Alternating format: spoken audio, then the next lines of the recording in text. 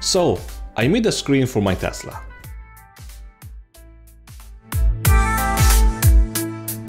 When I first got my Tesla, I found the dashboard odd with the absence of dials, buttons, and a speedometer, although I quickly grew accustomed to it. However, I still wanted a small screen to display essential information like the speed and the battery status, so I looked at what was available on the internet but they were either didn't fit the design, too big, or simply provided way too much information. I needed something simple and clean, so I decided to build my own. But before getting into the technical details on how I put it together, let me show you what it can do. Here, let's start with the screen that I see when I'm driving. The top middle part of the screen shows the speed matching of what it's set in the car. If the car displayed the speeds in kilometers, then that's what I see on the screen.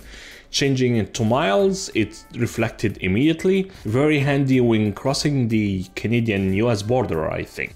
And just below that is the gear indicator uh, displaying the same information as you can see on the top left screen on the main screen. And at the bottom, you'll find the range, again in kilometers or miles depending on the car settings. The color of the range also changes depending on the battery level, so green when everything is good, yellow when it starts to get low, and red when it's time to charge. Now moving to the charging screen. Uh, while the car is charging, the battery state of charge percentage takes center stage with the blue text at the top indicating that the car is happily charging. And when it's fully charged, it shows full. So I know it's all topped up. I also added handy indicators at the top to show things like when the door is open or the hood. The screen brightness is also dynamic, so it matches the brightness of the main screen and as you know, things were not gonna be complete without a dark mode. So here.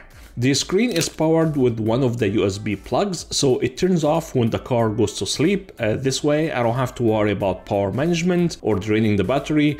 And did I mention that it boots up almost instantly. By the time I unlock the car, the screen is already on. Some of the devices that you buy online, they take forever to boot, sometimes up to 10 seconds, but this one is instant. And that's my screen in a nutshell. Simple and small. And if you are curious about the setup, there are two major components, the bridge and the screen. The bridge consists of an ESP32 dev kit a CAN shield with an OBD2 port, and a custom 3D printed case, all assembled together. It connects to the OBD adapter made specifically for Tesla. This adapter is installed under the center console. This is a very popular adapter used by a lot of accessories on the market that taps into the CAN bus. But just pay attention because there are multiple versions depending on the car year.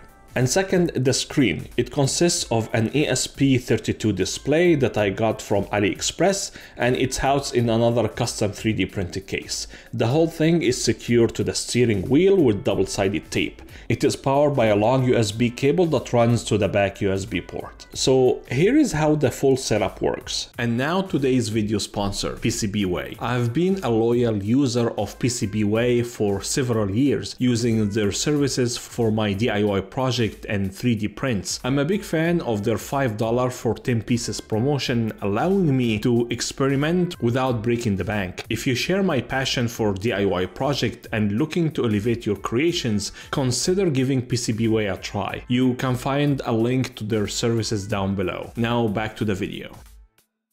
The bridge reads the CAN messages from the Tesla and broadcasts them as an ESP Now frames. For those unfamiliar, ESP Now is a lightweight wireless protocol similar to Wi-Fi but without the need for a router.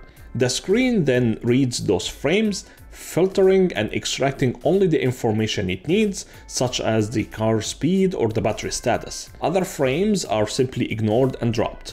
For each frame it reads, it extracts the necessary information, saves it in a working array, and keeps the display up to date.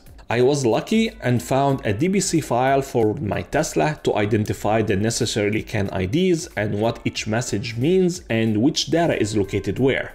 A big shout out to the Tesla owners online forum for putting this DBC file together for everyone. That takes a lot of work. To illustrate how the CAN messages are processed, I'll give a brief example. Let's pick the car speed. From the DBC file, I found that the car speed can be found in this CAN frame with an ID of 599. Inside the frame, the actual speed is located between bit 24 and 32. So I copy these bits and ignore everything else around it. This bit here tells me that the number I just extracted should be multiplied by 1 and a 0 is added to it. And this bit here tells me that the final value should be between 0 and 510, which makes sense for a car speed number. Having that DBC file helped me repeat this process for all the information I needed. If you are not familiar with DBC files, I recommend researching them, I understand their format better. They will make your life a lot easier. If you're interested in trying out my project, here is what you'll need uh, ESP32 dev kit, my CAN shield, an ESP32 display, some 3D printed cases and a few other components. To flash the ESP32 dev kit for the bridge or the ESP32 screen, simply visit my online flasher and load the code using your browser with just a few clicks. Everything is plug and play, no configuration or coding required.